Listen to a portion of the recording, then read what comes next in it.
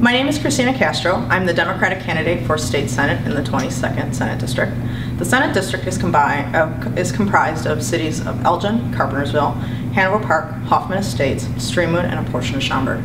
The reason for I'm- the reason why I'm running is that you know our, our state's broken, and we need to get back to doing what's right for working class families.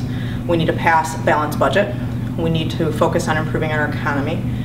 And we also need to focus on improving education. Um, education is the key to economic development, uh, to training, to jobs. You know, the reason why, you know, one of the things that I have done over my term um, as a county board member, we've always frozen taxes. We've balanced the budget. We work in a bipartisan fashion.